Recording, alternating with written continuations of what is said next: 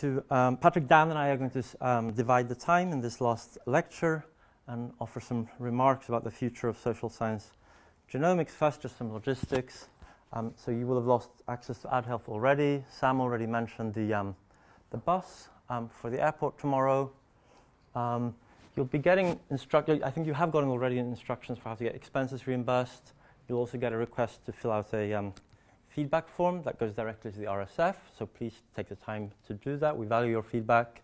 Um, please let also let others know about the camp. In fact, I think we, we will um, add you to our monthly mailing list unless you ask not to be included. And um, um, so through that mailing list, you'll learn about job opportunities in this area that occasionally crop up and also future camps and relevant conferences. So we hope to stay in touch. Okay, and then uh, so now on to the future of science, social science genomics. It starts tonight at 6.40 in the lobby. okay, so see you there. Um, all right, so let me just reiterate some of the themes that we've discussed. Um, so the first has to do with uh, interpreting genetic effects. We, have like explicitly cast the way we think about these um, parameters in a causal framework where a where um, a genetic effect is a result of a hypothetical change in genotype at conception. Um, and when you think about it, and then we define the additive effect as, as an average of these effects across different environments. Um, and by definition, this average is going to pick up potentially um, um, interactions with other genes and interactions with environmental factors to the extent that they um, operate. Um, we also, and you know, once, once you think about it this way, it becomes pretty clear. We think that sometimes genes can, genetic effects can operate through the environment, and that's, a, um, that's an important point that keeps coming up, especially in these studies of behavioral phenotypes. Right? There's nobody that thinks that there's some biological process through which a, um, an allele could impact your income. In, in, virtually any realistic case you can think of, it's going to be through some um, um, more complex pathway that involves a lot of things that go on outside the, the body. Um, okay, and then we made this distinction between the endogenous environment, so genetic effects that influence your outcome through an environment, and the exogenous environment, um, which refers to features of your environment that vary independently of your specific genetic draw that you got. We talked about heritability, um, and we, uh, we discussed two ways, two reasons not to care about heritability. So the first we call the Jencks critique. It doesn't, high heritability doesn't necessarily mean that environmental factors are important, and you can imagine a trait that has a heritability of zero, and yet we have no, you know, we have no known way of uh, modifying it. it, it re there really, really is no obvious relationship between modifiability and this, and this parameter. Um, we emphasize that heritability is not an index of policy effectiveness. So even setting aside the Jencks critique, there's this issue that in a particular, like the parameter estimate, the heritability estimate is always going to be a feature of a population, some period of time, and it tells you whether the uh, range of environments in that population, exogenous environments in that population currently explain a lot of um, variance. And it could be that you know, the range of exogenous environments explain very little variance. So maybe only two people have eyeglasses, to use Goldberger's famous uh, analogy. Um, in, in, such a world, you know, eyeglasses would explain practically 0% of the variance in, um, uh, in eyesight, and it could still be that giving people eyeglasses um, comfortably passes any sort of reasonable cost-benefit test.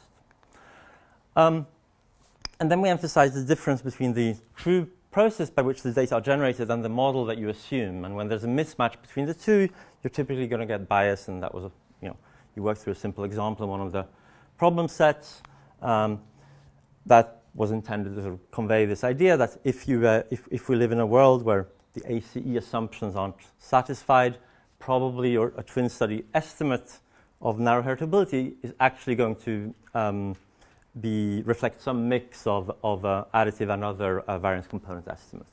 Okay? Um, okay, so there are reasons not to care about heritability, but there are also reasons to care about it, and the, maybe the main one uh, right now is that it tells us um, it tells us how much predictive power we could get out of a polygenic score. In principle, if we observed all um, genetic um, variants and if we knew their effects. Okay. Um, okay, environment, so we've thought of environment as a treatment effect, again from a hypothetical change, some kind of intervention. Um, and once you think about it this way, um, the um, um, I think uh, I, I, think it, it, helps interpret a lot of um, results that are out there in the literature. So conceptually, we think of a G by E effect as one in which you, like the ideal experiment would randomly assign genotype and some treatment, and then we say that there's a G by E effect if the effect of the treatment really depends, varies across genotypes. And in naturally occurring data, in observational data that most of us work with, there are a number of like, interpretational issues that arise when we don't, because we can't run that experiment. Um, one of them is that your environment might, might be caused by G, and another one is that your genes are correlated, so maybe what you're picking up is really an interaction with some other genes that you didn't control for. None of this is to say, when we talk about these ideal experiments, like one thing I should make clear, it's not to make the perfect the enemy of the good. It's just to get a kind of baseline scenario that helps us to think clearly about what kind of biases and problems emerge in any practical you know, application. And so once we have the ideal scenario, then I think it often helps, helps us think more clearly about, you know, what are the ways in which we deviate from the ideal scenario and what can we do to maybe quantify um, how much that matters. Okay, so we've emphasized additive genetic effects. Um, in part, that's because because of the way that they're defined, they're sometimes going to capture um, a substantial share of variance. Um, and we've emphasized interpretation of this additive genetic factor as a BLP, the best linear predictor. Um, okay, this we already said. We talked about different ways of estimating this BLP, this additive genetic factor. You can estimate, you can define it both for some subset of SNPs that you've measured or imputed, and you could, you could, um, you could define it for, for all of the SNPs including those that are unmeasured. And in, in practice, um, any difference between the proportion uh, of variance um, between the two is really is, is, is, is, uh, analogous to the difference between what we call SNP heritability and, um, and twin-based estimate of heritability, or twin family-based behavior genetic estimates of heritability. Okay, so then um, we live in interesting times. There are lots of opportunities here. Um, uh, because we're starting to actually be able to measure um, uh, DNA directly, variation across people um, directly at the molecular level. Um, we talked a lot about these early candidate gene studies and some of the problems that they faced and that we still face. Um, and first is population stratification. It's probably the single greatest confound, and maybe one of the key messages to get, a, get across here is that in virtually any realist, like, practi- to, to, like virtually always, it's insufficient to, to control for a person's self-reported race. It's very hard to think of a scenario where this wouldn't be true. And it's, again, I want to emphasize, this is not some, um, this actually practically matters uh, a lot uh, in most cases. And the example that comes to mind was, uh, Dan had a nice slide in, um, where he showed what, just, what, what happens if you take a variant that's um, with an allele frequency that varies um, ac across Europe, um, and if you just control for self-reported race in a certain sample, I think the result was that the variant is associated with like half a year more of schooling, something like that. Okay? But then if you progressively define more uh, genetically homogeneous estimation samples and control for PCs, the, the, this association goes away. Um, and you know, if you do a GWAS without a genetically homogeneous sample and with, without being you know, taking care to ensure that you're doing the best you can controlling for PCs and other confounds or variables that capture potential confounds, you will get uh, nonsense. And a lot of, actually, a lot of early, um, um, like in the early days of GWAS, when people were still figuring out, um, mm, uh, you know, what, what methods work in practice, you know, one common problem when people, um, when, when there were um, claims that subsequently turned out not to be correct, a common source of, of, errors was just uh, quality, poor quality control. Um, and a second source of errors was just poor control for um, omitted factors. Um, and maybe I should add here, we're kind of entering a phase, for a long time there was this feeling that PCs did, uh, were, were um, um, did surprisingly well in just ruling out omitted variables. And again, I think for a lot of social science applications, that you shouldn't think of them as some magic cure. You should think of something of them as something that mitigates a problem. We do the best we we can, but there's absolutely no reason to think that the final um, estimates we get are completely purged of any you know, omitted variable bias. Um, and in fact, we have, we've seen plenty of evidence to the contrary. There's this issue of multiple hypothesis testing that arises in genetic research. There are many variants we could test. There are many potential ways to split the sample. There are, there's an almost uh, like there's a the number of interactions um, you could test in principle between genes is just um, um, a number that's very hard to imagine because it's so big. The combinatorics are just staggering. Um, you could potentially test for a lot of GBA effects. And we think that in a lot of the early candidate gene studies, um, there were a lot of kind of investigated degrees of freedom in choosing these things that kind of led to a um, selected subset of the analyses run being reported in final papers, often results having gone through a statistical significance filter. Um, okay, and there are many ways to specify test for association. Um, and the other source of error um, or, or, or, or, um, or um, low repl re replicability in the early studies was that they, were, they, had low power. So we've emphasized that results, um, positive results that come from well-powered analyses, all else equal, are more credible. Uh, and that's just like, that just follows logically from, from Bayes' rule. Um, we now know quite definitively from GWAS um, that common variants rarely, you know, virtually always have small effects on, on behavioral phenotypes. We have a much better sense of what the plausible effect size is on average um, than we did um, just five years ago, say. Um, and in fact, this and, and, and, and, uh, and, James Lee and some of us have a paper um, that cheekily refers to this as the fourth law of behavior genetics. So it's, it's, uh, it's in, intended to supplement uh, Turkheimer's three laws, which were about um, um, sort of stylized facts from behavior genetic studies. We've emphasized that when a study has low power, whether or not the results are significant, um, the results are just not very informative. Intuitively, the reason is if your study, um, if your study has low power to detect a statistically significant effect, um, then that means that you know, in one state of the world, the SNP is null, say, simplifying a little bit, and then you know, at 5% significance threshold, you should, in principle, if there are no investigative degrees of freedom, 5% of the time you should reject the null. But if your power is only 7%, then you know 7% of the time um, you'll reject the null um, when, um, when it's false. Um, and the fact that you reject the null approximately the same um, uh, fraction of the time means that you, shouldn't, you, shouldn't just, you shouldn't update your beliefs very strongly just from observing a statistically significant results. Um, okay, and the second problem with low power is that even if, even if you're right that there is an association, you have to be very careful in interpreting estimates from studies with low power because conditional on finding a statistically significant effect, a study with low power is going to report an over, a substantial overestimate of the true effect size. And this comes up especially uh, when you do um, power analyses. Um, so if you do a power analysis um, and you want, you want to know some parameter and you go out and you find similar studies that try to estimate it, um, if the results in the liter literature went through a statistical significance threshold, and if the studies were low powered, then what you're going to get is a, is a kind of selected um, uh, set of estimates that overestimate the true um, effect.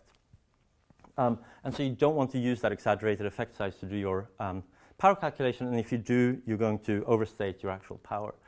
And all of these things, to some extent, all these problems to some extent come up also in, in GWAS.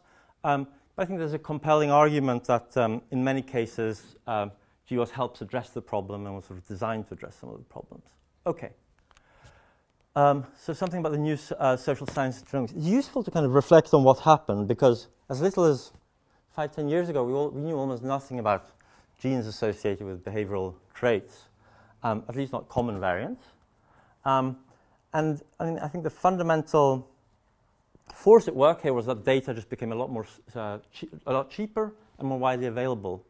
Um, and if you talk to um, if you talk to people who've studied things like the replication crisis in in psychology, many of them will point to genetics as an area that went from um, uh, a um, having a research infrastructure that tended to produce very unreliable findings. Of course, there are notable exceptions, but for the sort of outcomes we've discussed uh, in the uh, overwhelmingly focused on in the past two weeks, I think it's fair to say that um, um, virtually all previous like, claims of genetic association should be viewed very skeptically. Um, and there's been a massive transformation um, to these larger, better powered studies. And what fundamentally drove that transformation was that the data became available and we, we were, and, and, and also an appreciation, I think, of, of the statistical problems. But with just an appreciation of the statistical problems, without the data, we would still have been very limited in what we could do. Um, so we can do these large-scale GWAS. Um, there's been an explosion in the number of identified loci. There's every reason to think it will continue. um, we can construct increasingly predictive polygenic scores, and we're beginning to see applications in the social sciences. I mean, it really is an incredible thing. If you go back just two years um, to the previous workshop, or three years to the first RSF workshop, there's been dramatic progress. I mean, it, on, on a scale that I think is quite rare in, in, um, you know, in most uh, scientific fields. uh, most of us work in, most researchers work in fields where this kind of steady accumulation of knowledge and fast, uh, an accumulation of knowledge that's very fast-paced is, is unheard of. Um, so, you know, we've gone from have knowing, having no, no credible evidence of any genetic associations with educational attainments, for example, to having over a thousand genome-wide significant um, hits for which the evidence is very credible. Okay. Um, so I want to say something about like emerging applications. Um, um and this, so the sort of stuff you could do with um, uh, with this new knowledge, because it is important to, that we try to put it to productive use. Um, so the first is, is you can start to study um, gene by environment interactions. And personally, I would like I would like that very much because I'm really tired of telling everybody that Patrick and Sylvia's paper is the best G by E paper ever written. And the way to, um, the way to um, um, get me to stop saying that is to write an even better paper. So hopefully one of you guys will do that. Um, we've emphasized a lot of the applications, in a lot of the applications, the um, um, involve polygenic scores. Um, because it's not always obvious what they're capturing, because it's actually a lot more subtle than people might assume at first, um, on first thought, we've emphasized that you know, the most uncontroversial applications are going to be in, um, as controls, in, randomized controlled trials and these sorts of settings. So you can use them to control, just to shrink the standard errors. You can use them to test for balance between treatment and control group. Um, and you can also use them to study potential mediation effects. So of course, once you have a polygenic score that predicts some outcome, the natural question is, you know, through what pathways and does the predictive power change across different environments in interesting ways? We've emphasized that you can use um, publicly available summary statistics to do things like estimate SNP heritabilities and look at the genetic correlation between traits. Um, we've talked about um, a new, like, like a new uh, set of findings that, as best I can recall, were uh, were not, at least not universally, like um, um, known as two years ago. So, so we talked about the new evidence that for a lot of traits, G by E correlation is, a, uh, is an important feature of the data. Um, and, and that matters for all kinds of reasons. It matters, for example, for, as I kept emphasizing, it matters for the interpretation of the polygenic scores. It also matters for sort of um, um, getting to the bottom of some debates um, that took place back in the 70s. When you remember, in my, on the very first day of class, we looked at these phenotypic resemblance between different pairings of relatives and how they decayed. And there was this enormous debate about what model best explains the decay. And one source of disagreement, and the fundamental problem was we only had seven or eight moments, but we had, in principle, like a realistic model might have 12, 13 parameters. So people that made different assumptions about some of the parameters and reached different conclusions about what explained the pattern of decay. And some people placed a lot of emphasis on G by E correlation, and others did not. And with the molecular data, we can now revisit this debate, and I think uh, the evidence is quite, um, you know, almost conclusive that the G-by correlation is, a, uh, is an important um, um, um, feature of the data, at least for outcomes such as education. Um, we've, we've started thinking about you know, using genetic data to study sibling interactions. Um, when we talked about adoption studies, we similarly talked about using genetic data to kind of um, better understand what are the features of the parental, of the household environment and your parental um, and your household parents that predict children's outcomes, even conditional on, on polygenic scores. We talked about Mendelian randomization, how gen genetics could potentially be used to um, strengthen causal inference. Um, we talked about the sources of mating. And one, one topic that we didn't really touch upon, partly because it's not an area of, ex of expertise of ours, is that you can use these genetic data also to study you know, evolutionary history, trace out historical population movements and these sorts of things. So there are all these applications, and really is remarkable if you just go back as little as five years. Most of these, were, you know, most of these applications were just things that we, we would point to as, you know, things that may be possible in the future. Um, and now increasingly these applications are realistic. We have the data to actually do, do them, pursue them in a, in a, um, in a uh, serious way. Okay. Um, we've tried to we've tried to um, discuss um, you know, good research practices. Um, we emphasize the fact that a lot of the when we entered this field, a lot of the findings that were being reported have were, were not credible, and I think um, subsequent literature sort of borne that out. Um, as a result of this, as a result of the practices that were being widely used, there were a lot of claims being made that weren't backed up by the evidence and didn't really result in any lasting accumulation of, of, of knowledge. And there's this unfortunate tendency to kind of do um, to um, to um, to try to to try to publish, uh, you know, say findings that look superficially correct and you know were statistically significant at some nominal level, and maybe that's a maybe maybe um, maybe that maybe that's a good strategy if the goal is to publish papers, given the standards that journals adopted at the time. But it's not a good strategy if the if the goal was sort of increasing scientific um, understanding. And I think that the, there's been a sort of a, um, uh, that the methodological rigor of the, of the, field as a whole has uh, has increased uh, substantially. Um, that's not to say that we're immune from running into these problems in the future, and maybe maybe that's something we can discuss later. So standards are rising in the empirical work. Um, one reason for the rising standards is I think there's a wide, like there's a growing appreciation for the fourth law and what the kind of realistic effect size is. Um, those can be used to, to, to, for more plausible ex ante power calculations. I think there's also wider awareness of the role that multiple hypotheses problems and publication bias um, played in um, um, um in producing the, the, the, the, like the, the, the, this proliferation of, of um, candidate gene associations that were being reported until quite recently. Okay, and we talked about how you can use um, Bayesian reasoning to assess the credibility of, uh, of findings in some cases. Okay, sometimes pre-registration might also be a good idea. Um, I don't want to talk too much about this.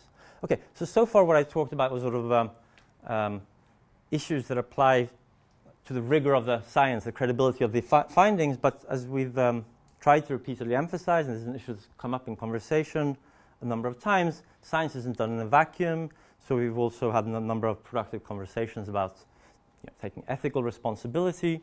Um, and um, Michel's lecture was intended to not to hold anybody responsible for what people were doing 100 years ago, that would be absurd, but to remind us all that um, that um, history matters um, and that if we have some awareness of history, then like the, and that we, history matters. If we understand it, we can probably do things to minimize the risks of, or at least reduce the risks that historical mistakes are repeated. And we have a sort of collective responsibility in light of this history to, to um, proceed carefully um, and responsibly. Um, there are other ethical issues that didn't come up as much. So one of them has to do with the sensitivity of genetic data, and that was for a very long time a constraint um, when you worked with these sort of um, in this um, in this field. Um, so so like one another aspect of of uh, of another dimension of, of pursuing uh, this work in ethical ways is obviously to make sure that you're uh, um, not sharing data in any way that risks um, revealing you know, confidential information about um, people who contributed to your study. In our case, in our settings, the main way in which this comes up is that there are restrictions on the sort of summary statistics that you can post online. Um, but it turns out that in practice, you can work around those restrictions with uh, um, th there, are, there, are, ways to sort of safeguard privacy while at the same time being quite, um, um you know, sharing a lot of summary statistics. The, the, the, the, main, the main thing you have to be wary of is sort of not, pr not providing allele frequencies to like fourth decimal place of accuracy or something like that. Okay, obviously you should only do research if, if, if you have the you know, appropriate IRB um, um, approvals and these sorts of things. Goes without saying.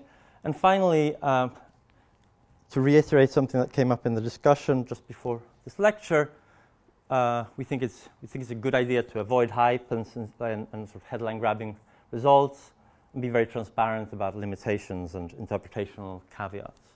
Um, sometimes, uh, for a high profile paper, you might even want to pursue this proactively and sort of make sure to um, write something that explains in sort of plain language what, um, what should and shouldn't be inferred from your findings. Okay, so are you going to continue now? So Patrick's going to talk about the next five years now.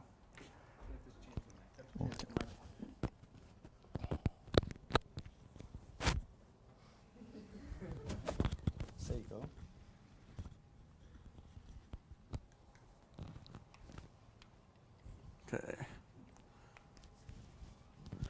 Great. Okay, so I'm going to talk about kind of what's what's coming, what's what's uh, what's next. Um, and so, uh, you know, the first thing I want to talk about is you know, one, one of the big reasons that we've seen an explosion in, in social science genetics research is all of a sudden there's all these uh, a lot of data that's available. And so, here's just a list of, of some of the studies um, that are, are, available now at, at, you know reasonably large sample sizes. You probably recognize most of these. Add Health is the one that um, we've been really lucky to have access to during during this course this week. Health and Retirement Studies, an older sample. UK Biobank's the one, the, um, you know, it's, it's, probably one of the largest that's available. But, but I, th- I, believe that all of these are just generally available to researchers if, um, on application. And so this might be a good place to start if you're thinking about um, projects you want to undertake and what data there might be. This, this link here is, is the link to the participating cohorts to the SSGAC studies. And so, you know, there, I think there's like 70 something studies in the, in the most. Oh, there's like 100 these days? There's like 100 studies.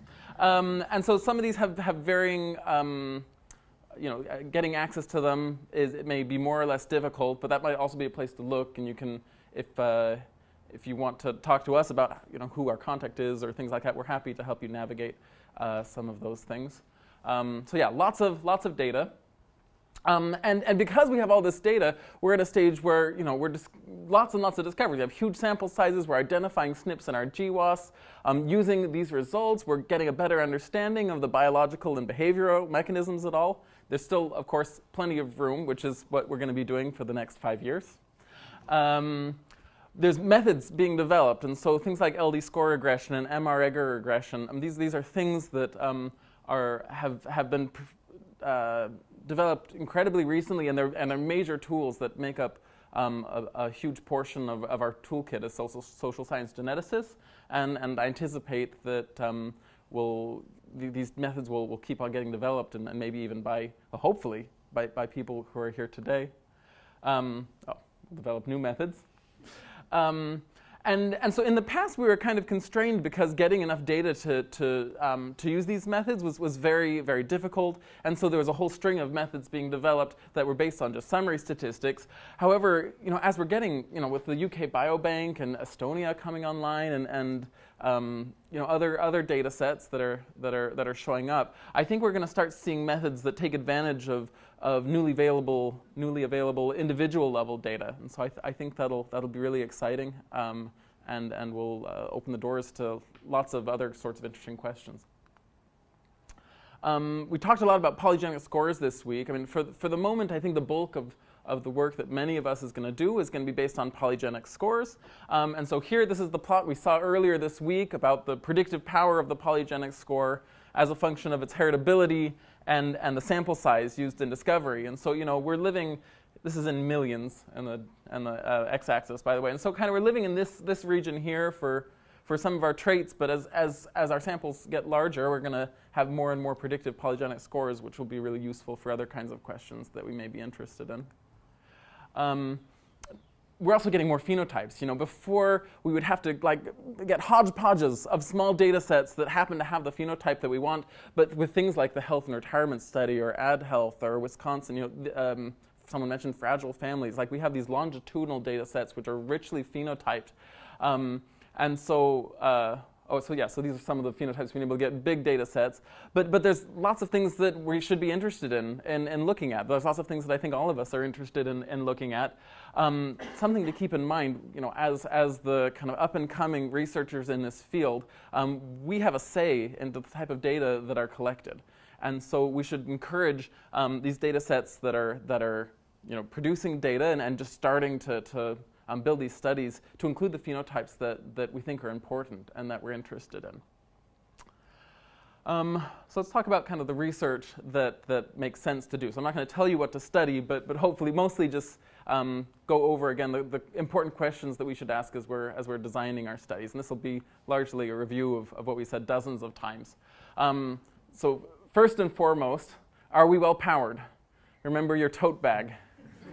um, but yeah, so, so before you embark on any study, think about plausible effect sizes, think about how big your sample size can get, and, and start thinking about if, if, if you're going to be well powered enough to get there.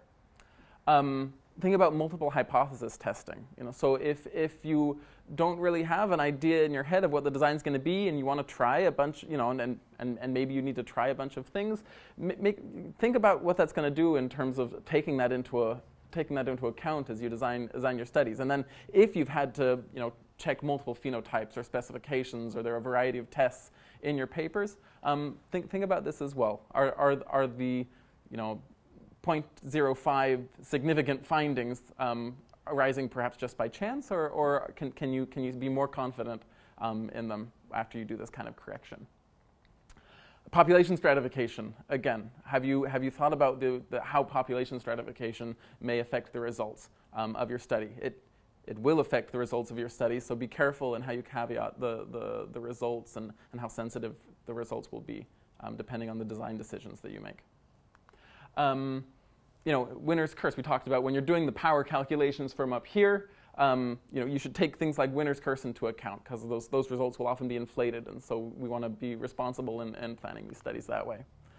Uh, we've talked a bunch about um, how do we interpret genetic effects. So if we want to design a study and, and we think, oh, well, this is, because you know, you start with a question, um, is, is to, to what degree does using the genetic data um, answer that question, and what are the limitations on how far you can interpret um, the, uh, the, the, results that you have?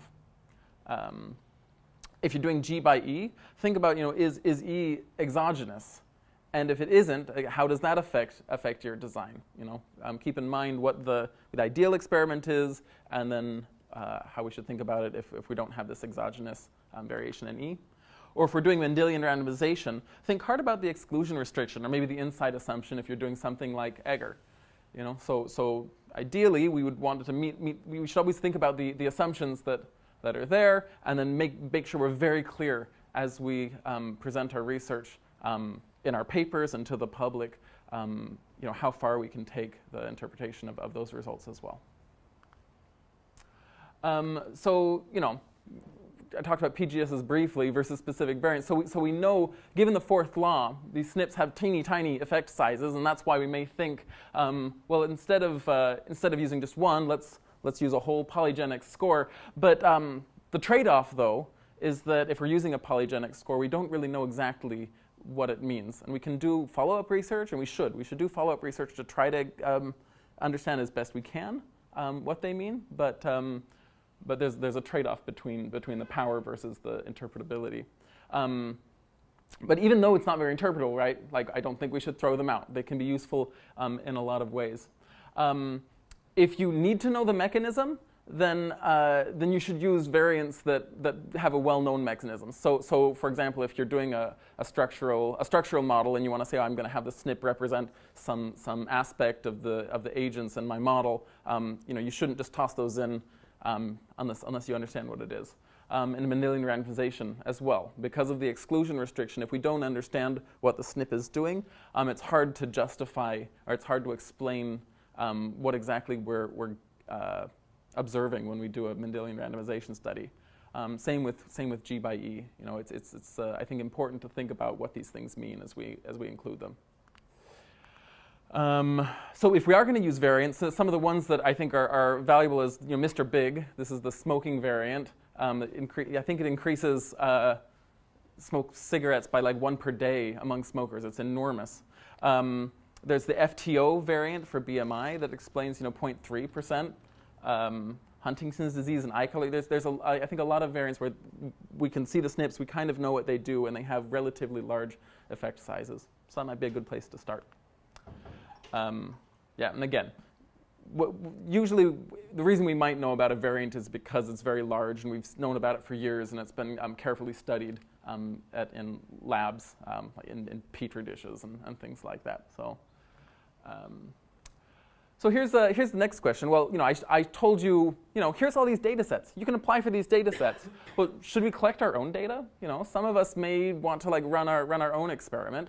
Well, maybe. Like, I, I probably, in fact, right?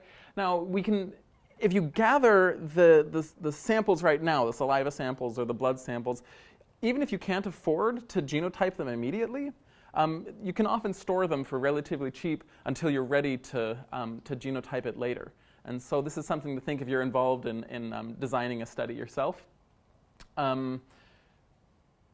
Yeah, so, so I mean, we, we have a lot of things that we could do with the existing stuff, but, but if, uh, once we have polygenic scores, there's a lot of things we can even do in relatively small sample size. So here's like a quick table. If we have a polygenic score that has just 2% R squared, um, you know, we're already at 80% power once we're at 400 individuals. So this is, you know, a, a, a relatively weak polygenic score. I mean, I guess there, there's a handful of ones that are at 1%.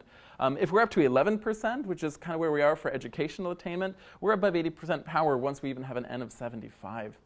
Um, so so, so given these numbers, you know, I, I, I think it makes a lot of sense that if you're gathering your own data, um, you should prepare to genotype it. I think that, and we don't even know, as, as we get more data and there's more GWAS and we increase the power of these scores, you don't need to gather more data. You can update your scores and then be more powered then. So, um,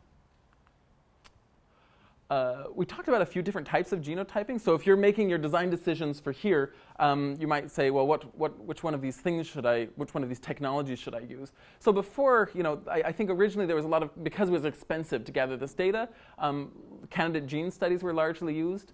Um, I, I, think that probably these days um, it doesn't make a lot of sense because you can do a candidate gene chip um, and, it, and it doesn't really cost any less than just doing a full GWAS chip. And so I, I'm, I do not think this is probably the right, right approach if you're designing your own study. Um, you have the SNP chips, they're like $40 a person now, um, and, this, and, and, it's going down. It'll get cheaper and cheaper over time. Um, you know, these SNP chips capture most of the common variation um, in, in Europeans, although I think chips are being designed to try to be better at that. Um, and, and you could even impute after that. So it catches the you know, 1 million SNPs, and then we can impute up to 10 um, fairly accurately. Um, and then once we have this, it allows us to calculate PCs, where if we just had candidate genes, we wouldn't be able to calculate the PCs to control for stratification. We can make polygenic scores once we have this. Um, the a disadvantage of these SNP chips is it doesn't really capture rare variants very well. And in fact, we can't impute down to rare variants very well. And so if the questions that you're interested in um, or that you think you might be interested in in the future um, are, are about rare, rare variants, um, maybe this isn't the, isn't the right choice. Um, so the next option might be to do something like low, low density sequencing. And so for these ones, it does just a um, kind of a full genome um, scan, trying to measure roughly every, every variant. It measures many more SNPs rather than just the handful that are, that are on, the, uh, on the SNP chip. Um, but it doesn't necessarily tag all of the SNPs uh, very well, right? Because I think in the standard sequencing, it tries to get multiple reads on, on each of them, whereas for the low density sequencing, it sometimes misses entire segments en- entirely. But, but hopefully, as you gather more and more data, um, as you gather more and more data, you can impute better and better. And so, um, so even in the low, low density sequencing, those, those I think are getting to the point pretty well that you have about as accurate, accurate coverage for the, for the same sets of SNPs that are on, on the genotyping chips. Currently still not as good, but I think it's, it's getting there. And it, and it costs, roughly the same amount for something like this. Um, if you have lots of money and you need really accurate, um, you know, every single um, molecule in the genome, then you might consider sequencing for about $500 a person. It captures pretty much all genetic variation. Oh, and it'll capture nearly all genetic variation as well, with the exception of the of areas that are that are difficult to, to sequence. I think uh, um, Andrea talked about. So that's, that's all I have. I think that uh, Dan's now going to talk about job market related stuff. All right, thanks. So since, um, since many, many of you are um, PhD students um, or postdocs, um, it might be useful to say something about um, what you can uh, expect on the job market if you continue to pursue social science genomics as a, a major area of your research. Now, the, um, the job markets differ depending on discipline. So we're going to talk specifically about economics, um, psychology, and sociology. Um, my own expertise is in economics, so I'll speak to, um, to economics. Um, one nice uh, feature of the uh, uh, discipline of economics for this, this subject area is that you, you won't face any ideological opposition. No one's going to say, oh, you know, genetics, you shouldn't study that. You know, economists tend to be um, pretty um, open-minded in terms of the, the possibility that genes matter. In fact, many economists find it very intuitive that, that genes uh, matter. But where economists will give you a hard time is that you, you know, they won't care uh, about the research unless, unless they can be persuaded that it, it, is, it is economics, uh, by which they mean that it, it speaks to questions that economists have traditionally been studying. So the challenge on the economics job market is to, uh, to do research that um, other economists are going to see as you know, speaking to their traditional questions. Um, and so that may have a lot to do with the, the, the choice of research topics that you, you might want to pursue. Um, we know of um, a, a, number of, you know, I think at this point, five uh, people who have gone on the, the job market viewed as genoeconomists, you know, with this as kind of their primary area of research, starting with, with David and, and Jonathan, um, most recently um, uh, Lauren uh, and, and Pietro uh, Biroli. Um, and um, you know, they've all done well. Um, you know, you have to be careful. There's a selection bias. These are all, you know, um, uh, strong researchers. They would, they, they, um, they almost surely would have done well, you know, had they gone into uh, other other areas of research. Um, but it is nonetheless encouraging. You know, people are getting people who are going on the market doing genoeconomics are, are getting uh, getting jobs. Um, but it is um, a thin market, which is to say, um, there aren't typically in, in, in economics, the way hiring works is that a department is looking for people that fit in particular categories like public economics or labor economics, maybe applied micro if, they're, if they categorize the, uh, um, the field uh, more broadly that way. Um, and so you need to, um, in order to get hired somewhere as a genoeconomist, the people who are at that school, say in applied micro, need to be willing to consider genoeconomics to be within their field of applied micro, and that's going to be the minority uh, of schools. So it's a, it's a you know, relatively small number of schools that are potentially going to be open to, um, to hiring um, genoeconomists. Um, so it is, um, you know, so it's somewhat riskier. Um, so uh, next, uh, we'll talk about sociology. Now, I'm not a sociologist, so uh, I've asked Dalton uh, to, um, uh, to convey to you his wisdom about the job market in sociology. Um, so let me read to you what, what he said. Um, he said, Of all the social sciences, my sense is that both the interest in and resistance to genetic integration is the highest in sociology for ideological reasons. Sociologists are wary of inequality rationalizing consequences of genetic analysis. Indeed, sociology was founded against the backdrop of 19th century biological theories of society, such as Herbert Spencer's organicism. That said, I do not conclude that anyone doing G or G by E work in sociology is a dead duck on the job market. I think that a number of sociologists, yeah, that's encouraging, huh? Yeah. I think that a number of sociologists and sociology departments are embracing this torrent of genotypic data as they become increasingly common in survey studies that we often analyze. The very inclusion of genetic data into WLS, Add Health, and HRS, just to name a few, suggests that sociologists are not all hostile to this sort of analysis. While the N is still small, my observations detect a paradox. The top departments are the most receptive, to this sort of analysis because they are the most positivist and the least ideological. But the students from these departments, with a couple exceptions like UNC and Colorado, are less likely to do genetic work in their graduate work because they are risk averse to damaging their job market prospects. But those interested in the topic from lower ranked departments are more willing to roll the dice and take a chance. I have seen this pay off. I should also say that there are a number of postdocs at Princeton, where Dalton now is, Michigan, and UNC, for instance, that specifically look for people doing biomarker work. That said, many people do the sociogenomics as side work and do a more straight sociology dissertation, but I always believe that you cannot be strategic about what you study. You need to study what you are passionate about because you will be the most innovative about what you are obsessed about. You will also work harder. So if this is what you are passionate about, go for it. um, so I, I guess I, I, would add that demography is, some, is, is um, often, uh, uh, so demographers are often um, more open, or you know, less ideologically opposed than, than other sociologists, and some sociology departments uh, you know, have a more demographic, uh, demography bent. Um, so I asked James to say something about uh, psychology. Is James? Where is James?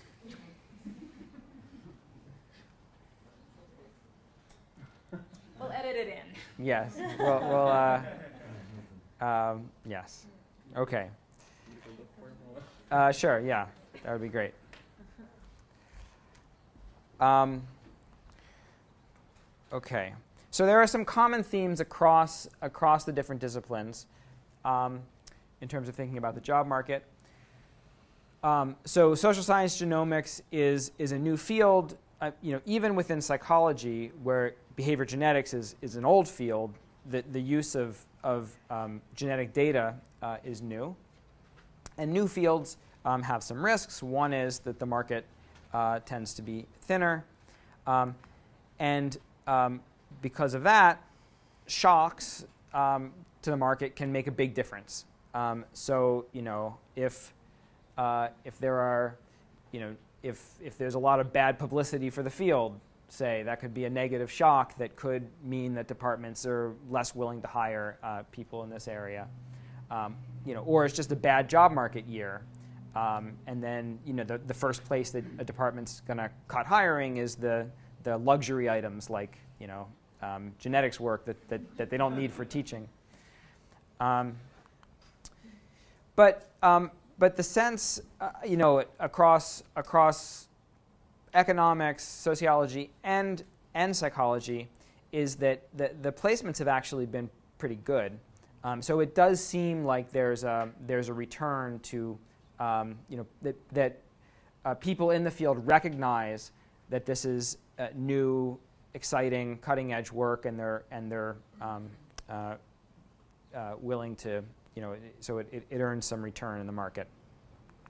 Um, our view, obviously biased, um, uh, is that it's, it's totally obvious that social science genomics is going to continue to grow very quickly just because the data is becoming so much cheaper and the methods are expanding um, uh, rapidly and our knowledge base is expanding. And so, um, you know, it, given, given that, we think the um, demand is going to be increasing and you know, you all are in a, a unique position to be leaders um, in this field getting in uh, at an early time. Um, so David mentioned that we have um, uh, a list serve that we're going to default you into. Um, you can get out if you, you know, let us know. Uh, but, um, but it'll contain job postings, notifications about conferences and workshops. If uh, for some reason you, you don't get these emails, or if you, if you have a friend or someone else who want, you know who wants to be added to the email list, they can uh, send an email to Chelsea Watson at this email address, and, uh, and we'll add you. Um, and let us know if you, if you have announcements like job postings that you want um, to be sent out to the, to the listserv. Um, okay, so, um, so to, to wrap up, I just want to um, say some thank yous. Um, so the first set of thank yous is to all of our many instructors. I won't mention them one by one, but um, they're on the slide. Um, you know, everyone here has um, donated their time very generously um, to make the Summer Institute possible. So, you know, we're all extremely grateful um, to, to the instructors who are here. So thank you.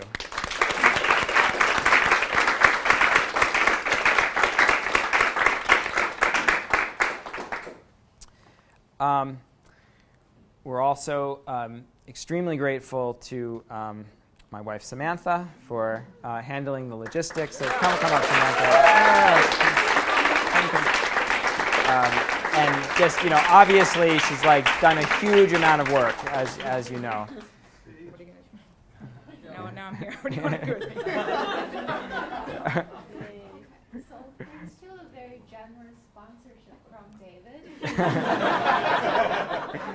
Give Samantha a gift, fa- gift card for a very nice restaurant in LA called Providence. I think. Yeah, they recently received two stars from Michelin. So, uh, yeah. Thank Nice. you.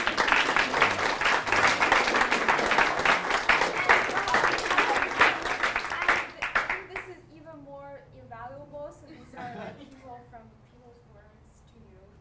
Stop it.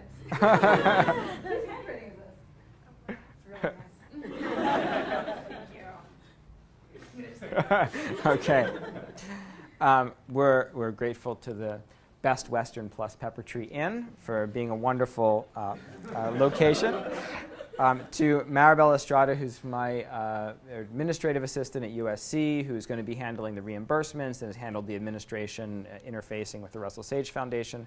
The Russell Sage Foundation, um, who provided the funding for this workshop um, and has been, you know, a supporter of, of, um, of this young uh, field and, and trying to um, promote best research practices and also um, responsible uh, communication about the work.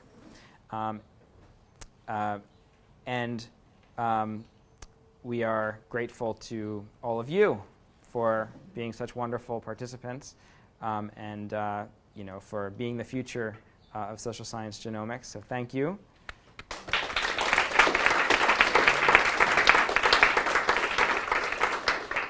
And then we also want to thank, um, you know, they were listed on the slide with instructors, but we, we have a special thanks to our wonderful TAs, um, Hui and Rosie.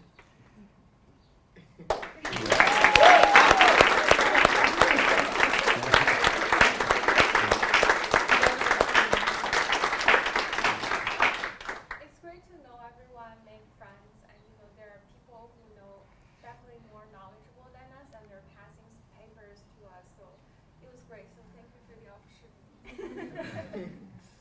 All right. Um, so we will um, see you. Oh. Yeah.